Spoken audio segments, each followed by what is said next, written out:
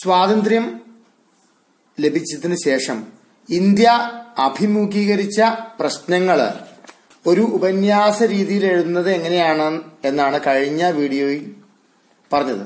അതിന്റെ തുടർച്ചയാണ് ഈ വീഡിയോ. കഴിഞ്ഞ വീഡിയോയിൽ അഭയാർത്ഥി പ്രവാഹം നാട്ടുരാജ്യങ്ങളുടെ സംയോജനം എന്നീ രണ്ട് പോയിന്റ്സ് ആണ് പറഞ്ഞിരിക്കുന്നത്. ഇന്ന് ഈ വീഡിയോയിൽ അടുത്ത രണ്ട് പോയിന്റ്സ് പറയുകയാണ്. ഭരണഘടനാ രൂപീകരണവും ആദ്യ പൊതു തെരഞ്ഞെടുപ്പും. അപ്പോ നമുക്ക് സ്വാതന്ത്ര്യം കിട്ടി. അതിനുശേഷം അഭയാർത്ഥി പ്രവാഹം ഉണ്ടായി. അത് പരിഹരിച്ചു. അതിനുശേഷം നാട്ടുരാജ്യങ്ങളുടെ സംയോജനമായിരുന്നു. അതും എങ്ങനെയാണ് നടത്തിയതെന്ന് നമ്മൾ കണ്ടു. ഇനി ഭരണഘടനാ രൂപീകരണവും ആദ്യ പൊതു പൊതു തെരഞ്ഞെടുപ്പും. ബ്രിട്ടീഷുകാർ ഇന്ത്യ വിട്ടുപോയി ഇന്ത്യ നമുക്ക് തന്നിട്ട് പോയി. ആ ഇന്ത്യ എങ്ങനെ ഭരിക്കണം? ആര് ഭരിക്കും? രാജാവ് ഭരിക്കുമോ? അതോ ജനാധിപത്യമായ രീതിയിലൊരു സംവിധാനം ഉണ്ടാകുമോ? ഇങ്ങനെയുള്ള കാര്യങ്ങളൊക്കെ ആയിരുന്നു. അത് സ്വാതന്ത്ര്യം ലഭിക്കുന്നതിന് മുമ്പ് തന്നെ സ്വാതന്ത്ര്യ സമര കാലത്ത് തന്നെ നേതാക്കന്മാര് ഇന്ത്യയ്ക്ക് സ്വാതന്ത്ര്യം കിട്ടുമ്പോൾ അത് ഏകദേശം എങ്ങനെയായിരിക്കണം മുന്നോട്ട് പോകേണ്ട എന്നൊരു ധാരണയിലേക്ക് എത്തിയിട്ടുണ്ടായിരുന്നു. അപ്പൊ ഇന്ത്യയുടെ രാഷ്ട്രീയ രാഷ്ട്ര രൂപീകരണത്തിനുള്ള അടിത്തറയായത് ഇന്ത്യൻ ഭരണഘടനയാണ്. അപ്പൊ ഇന്ത്യക്കൊരു ഭരണഘടനയുണ്ട്. ഇന്ത്യ എങ്ങനെ ഭരിക്കപ്പെടണം? അങ്ങനെയാണ് ഇന്ത്യൻ കോൺസ്റ്റിറ്റ്യൂഷൻ ഇന്ത്യൻ ഭരണഘടന ഇന്ത്യയുടെ പൗരന്റെ അവകാശങ്ങൾ. അങ്ങനെ ഇന്ത്യ ഒരു രാഷ്ട്രം ഇന്ത്യ എന്ന് പറയുന്ന രാഷ്ട്രം അത് എങ്ങനെ ഭരിക്കപ്പെടണം? അല്ലെങ്കിൽ ഇവിടുത്തെ നിയമങ്ങൾ എന്താണ് എന്നൊക്കെ എഴുതി വെച്ചിരിക്കുന്നതാണ് ഭരണഘടന. അപ്പൊ ഇന്ത്യ അപ്പൊ ഒന്നാമത്തെ പോയിന്റ് എന്താണ്? ഇന്ത്യയുടെ രാഷ്ട്ര രൂപീകരണത്തിനുള്ള അടിത്തറയായത് ഇന്ത്യൻ ഭരണഘടനയാണ്. ഇപ്പൊ സ്വാതന്ത്ര്യത്തിന് മുമ്പ് തന്നെ ബ്രിട്ടീഷ് ഭരണത്തിന് കീഴിലുള്ള ക്യാബിനറ്റ് മിഷൻ ഒരു ഭരണഘടനാ നിർമ്മാണ സഭ രൂപീകരിക്കണമെന്ന് നിർദ്ദേശിച്ചു. ആയിരത്തി തൊള്ളായിരത്തി നാൽപ്പത്തി ആറിൽ രാജ് ഡോക്ടർ രാജേന്ദ്ര പ്രസാദ് അധ്യക്ഷനായിട്ട് ഭരണഘടനാ നിർമ്മാണ സഭ രൂപീകരിച്ചു. അപ്പൊ ഈ സ്വാതന്ത്ര്യത്തിന് മുമ്പ് തന്നെ ഈ ഭരണഘടന നിർമ്മിക്കുന്നതിലേക്കായിട്ട് ക്യാബിനറ്റ് മിഷൻ ഒരു ഭരണഘടനാ നിർമ്മാണ സഭ രൂപീകരിക്കണമെന്ന് നിർദ്ദേശിച്ചു. ആയിരത്തി തൊള്ളായിരത്തി നാൽപ്പത്തി ആറിൽ ഡോക്ടർ രാജേന്ദ്ര പ്രസാദ് അധ്യക്ഷനായിട്ട് ഭരണഘടനാ നിർമ്മാണ സഭ രൂപീകരിച്ചു. സ്വാതന്ത്ര്യത്തിന് ശേഷം ഇതിന്റെ പ്രവർത്തനങ്ങളൊക്കെ വളരെ പുരോഗമിച്ചു. ഭരണഘടന എഴുതി തയ്യാറാക്കാനായി ബി ആർ അംബേദ്കർ ചെയർമാനായി ഒരു ഡ്രാഫ്റ്റിംഗ് കമ്മിറ്റിയെ രൂപീകരിച്ചു. ഒരു drafting committee. B R Ambedkar ചെയർമാനായി ഒരു ഡ്രാഫ്റ്റിംഗ് കമ്മിറ്റിയെ രൂപീകരിച്ചു. നിരവധി ചർച്ചകളിലൂടെയും സംവാദങ്ങളിലൂടെയും ഭരണഘടനയ്ക്ക് രൂപം നൽകി. എന്തായിരുന്നു ഈ ഭരണഘടന? ഇതിൽ പ്രത്യേകമായിട്ട് പ്രതിഫലിച്ചത് ഇന്ത്യൻ സ്വാതന്ത്ര്യ സമര കാലഘട്ടത്തിൽ ഉയർന്നു വന്ന ആശയാഭിലാഷങ്ങളുടെ പ്രതിഫലനമായിരുന്നു ഈ ഭരണഘടനയിൽ ഉണ്ടായിരുന്നത്? ആയിരത്തി തൊള്ളായിരത്തി അമ്പത് ജനുവരി ഇരുപത്തി ആറിന് സ്വതന്ത്ര ഇന്ത്യയുടെ ഭരണഘടന നിലവിൽ വരികയും ഇന്ത്യ ഒരു റിപ്പബ്ലിക് ആവുകയും ചെയ്തു. ആയിരത്തി തൊള്ളായിരത്തി അമ്പത് ജനുവരി ഇരുപത്തി ആറ് ഈ പോയിന്റ്സ് എങ്ങനെ പറയും? അപ്പോൾ നമ്മൾക്ക് എങ്ങനെ ഹെഡിങ് കൊടുക്കാം ഭരണഘടനാ രൂപീകരണം പൊതു തെരഞ്ഞെടുപ്പ് ഈ രണ്ട് കാര്യങ്ങളാണ് പറയുന്നത്. ഇന്നത്തെ ഭരണഘടനാ രൂപീകരണത്തിൽ ആദ്യം എന്ത് പറയും? ഇന്ത്യയുടെ രാഷ്ട്രീയ രൂപീകരണത്തിന്റെ അടിത്തറ പാകിയത് ഭരണഘടനയാണ്. ക്യാബിനറ്റ് മിഷൻ ഒരു ഭരണഘടനാ നിർമ്മാണ സഭ രൂപീകരിക്കണമെന്ന് നിർദ്ദേശിച്ചു കേട്ടോ. ഒന്നാമത്തെ പോയിന്റാണ് ക്യാബിനറ്റ് മിഷൻ ഒരു ഭരണഘടനാ നിർമ്മാണ സഭ വേണമെന്ന് നിർമ്മാണ സഭ രൂപീകരിക്കണമെന്ന് നിർദ്ദേശിച്ചു. ആയിരത്തി തൊള്ളായിരത്തി നാൽപ്പത്തി ആറിൽ ഡോക്ടർ രാജേന്ദ്ര പ്രസാദ് അധ്യക്ഷനായിട്ട് ഭരണഘടനാ നിർമ്മാണ സഭ നിലവിൽ വന്നു. ഡ്രാഫ്റ്റിംഗ് കമ്മിറ്റി രൂപീകരിക്കുകയും അതിന്റെ ചെയർമാനായി ബി ആർ അംബേദ്കറെ നിയമിക്കുകയും ചെയ്തു. ഇനി ഇന്ത്യൻ സ്വാതന്ത്ര്യ സമര കാലഘട്ടത്തിൽ ഉയർന്നു വന്ന ആശയാഭിലാഷങ്ങളുടെ പ്രതിഫല പ്രതിഫലനമായിരുന്നു ഭരണഘടനയ്ക്ക് രൂപം നൽകാൻ സഹായിച്ചത്. ആയിരത്തി തൊള്ളായിരത്തി അമ്പത് ജനുവരി ഇരുപത്തി ആറിന് ഇന്ത്യ റിപ്പബ്ലിക്കായി. ഇത്രയാണ് ഭരണഘടനാ രൂപീകരണത്തെ കുറിച്ച് പറയുന്നത്. അപ്പോ ക്യാബിനറ്റ് മിഷൻ ഒരു ഒരു ഭരണഘടനാ നിർമ്മാണ സഭ ഉണ്ടാക്കണമെന്ന് നിർദ്ദേശിച്ചു. ഒന്നാമത്തെ പോയിന്റ് ആയിരത്തി തൊള്ളായിരത്തി നാൽപ്പത്തി ആറിൽ ഡോക്ടർ രാജേന്ദ്ര പ്രസാദ് അധ്യക്ഷനായി ഭരണഘടനാ നിർമ്മാണ സഭ നിലവിൽ നിന്നു. രണ്ടാമത്തെ പോയിന്റ് പിന്നെന്താണ്?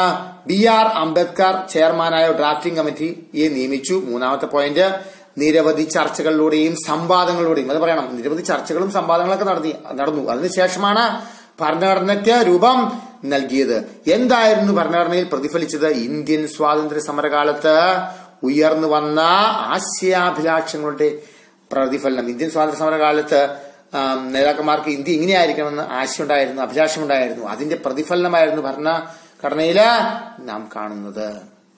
അപ്പൊ ഭരണഘടനയെ കുറിച്ചുള്ള ആ പാരഗ്രാഫ് തീർന്നു. ഇനി അടുത്ത എന്താണ് പൊതു തെരഞ്ഞെടുപ്പാണ് ഇന്ത്യയിൽ എങ്ങനെയാണ് പൊതു തെരഞ്ഞെടുപ്പ് ഉണ്ടായത് എപ്പോഴാണ് ഉണ്ടായത്? ആയിരത്തി തൊള്ളായിരത്തി അമ്പത് ജനുവരി ഇരുപത്തി ആറാം തീയതി ഇന്ത്യ റിപ്പബ്ലിക്കായി മാറിയെന്ന് പറഞ്ഞു. ഇനി മറ്റൊരു പ്രശ്നമാണ് ജനാധിപത്യ വ്യവസ്ഥയുടെ രൂപീകരണം. അപ്പോൾ ഭരണഘടന നിലവിൽ വന്നു. ഇനി ജനാധിപത്യ വ്യവസ്ഥതയുടെ രൂപീകരണം. ജനാധിപത്യം എന്ന് പറയുന്ന ജനങ്ങൾക്ക് ആധിപത്യമുള്ള വ്യവസ്ഥയാണ്.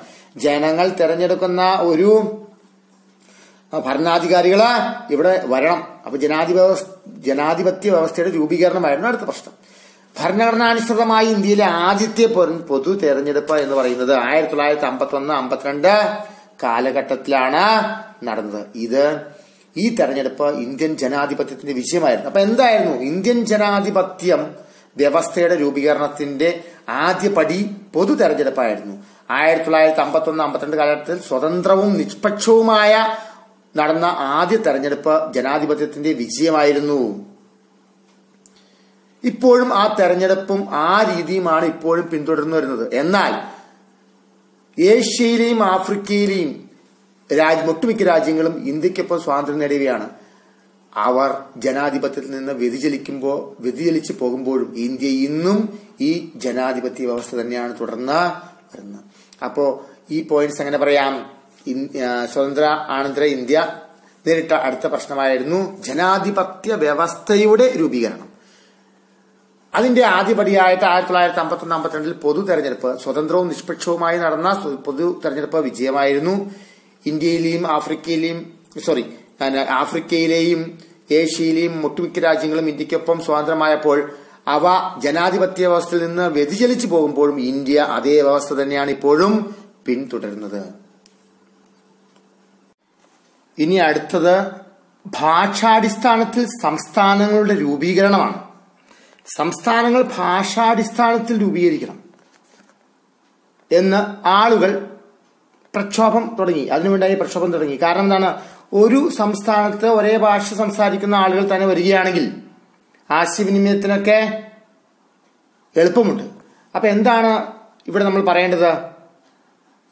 ജനങ്ങൾ അഭിമുഖീകരിച്ച ഒരു പ്രധാന പ്രശ്നം ഭാഷയുമായി ബന്ധപ്പെട്ടതായിരുന്നു. ഒരു നാട്ടുരാജ്യത്ത് തന്നെ വ്യത്യസ്തമായ ഭാഷകൾ സംസാരിക്കുന്നവരുണ്ടായിരുന്നു. അതിനാൽ ഭാഷാടിസ്ഥാനത്തിൽ സംസ്ഥാനങ്ങൾ രൂപീകരിക്കണമെന്ന ആവശ്യം ഇന്ത്യയുടെ വിവിധ ഭാഗങ്ങളിൽ നിന്ന് ഉയർന്നു. അപ്പോൾ സ്വാതന്ത്ര്യാനന്തരം ഭാഷാടിസ്ഥാനത്തിൽ സംസ്ഥാനങ്ങൾ രൂപീകരിക്കണമെന്ന ആവശ്യം. ഇന്ത്യയുടെ പല ഭാഗങ്ങളിൽ നിന്നും ഉയർന്നു വന്നു. അതാണ് ഒന്നാമത്തെ പോയിന്റ് എന്താണ്?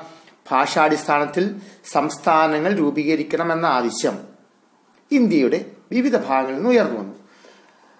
ആയിരത്തി തൊള്ളായിരത്തി ഇരുപതിലെ നാഗ്പൂർ കോൺഗ്രസ് സമ്മേളനത്തിൽ ഭാഷാടിസ്ഥാനത്തിൽ സംസ്ഥാന കോൺഗ്രസ് രൂപീ കമ്മിറ്റികൾ രൂപീകരിക്കാൻ തീരുമാനിച്ചിരുന്നു.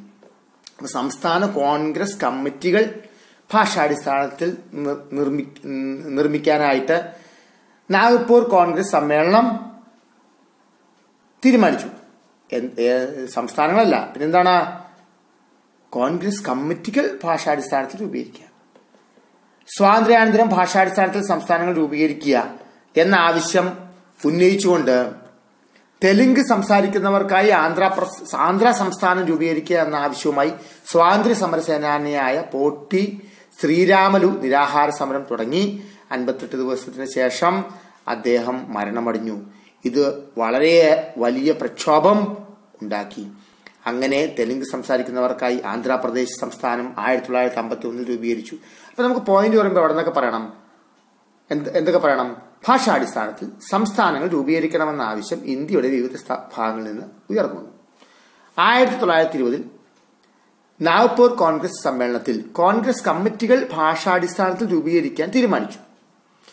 ഇനി തെലുങ്ക് സംസാരിക്കുന്നവർക്കായി ആന്ധ്ര സംസ്ഥാനം രൂപീകരിക്കുക എന്ന ആവശ്യവുമായി സ്വാതന്ത്ര്യ സമര സേനാനിയായ പോട്ടി ശ്രീരാമലു നിരാഹാര സമരം തുടങ്ങി. അൻപത്തെട്ട് ദിവസത്തിന് ശേഷം മരണമടഞ്ഞു.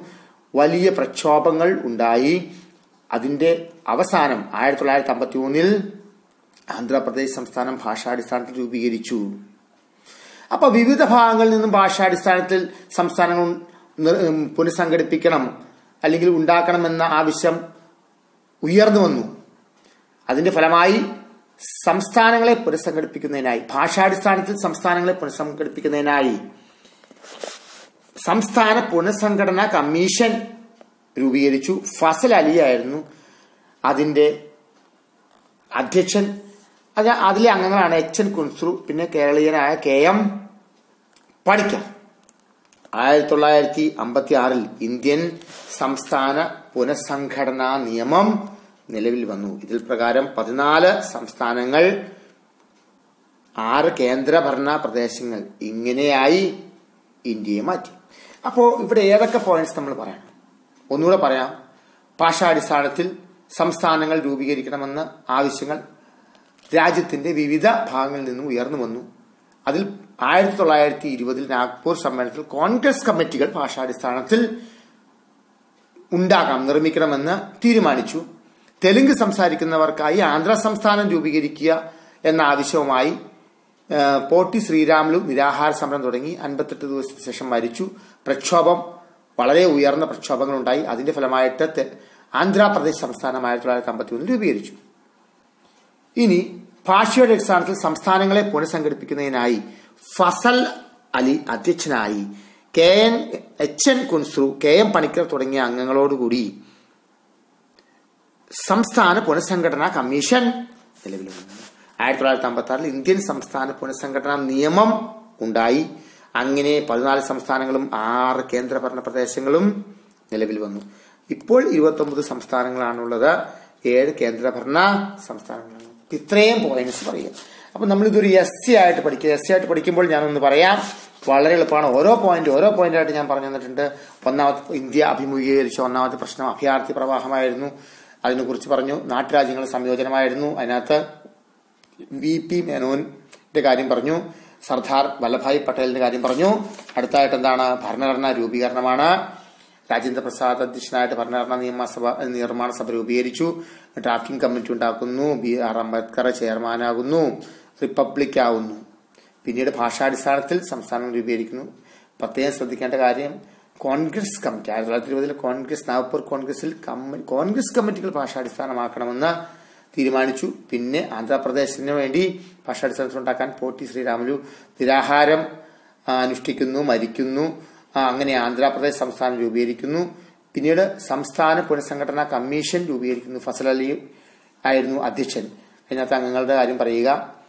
ആയിരത്തി തൊള്ളായിരത്തി അമ്പത്തി ആറിൽ ഇന്ത്യൻ സംസ്ഥാന പുനഃസംഘടനാ നിയമം പാർലമെന്റ് പാസ്സാക്കിയത്. ഞാൻ പറഞ്ഞില്ല പാർലമെന്റ് പാസ്സാക്കി. അങ്ങനെ സംസ്ഥാനത്ത് പതിനാല് സംസ്ഥാനവും ആറ് കേന്ദ്രഭരണ പ്രദേശങ്ങളും നിലവിൽ വന്നു.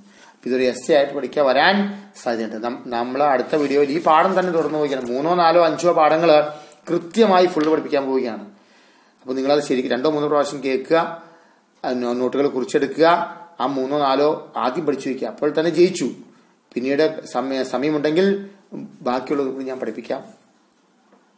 ഈ വീഡിയോകൾ ഇഷ്ടപ്പെടുന്നുണ്ടെങ്കിൽ സബ്സ്ക്രൈബ് ചെയ്യാൻ മറക്കരുത്. മാത്രമല്ല ഷെയർ ചെയ്ത് കൊടുക്കാനും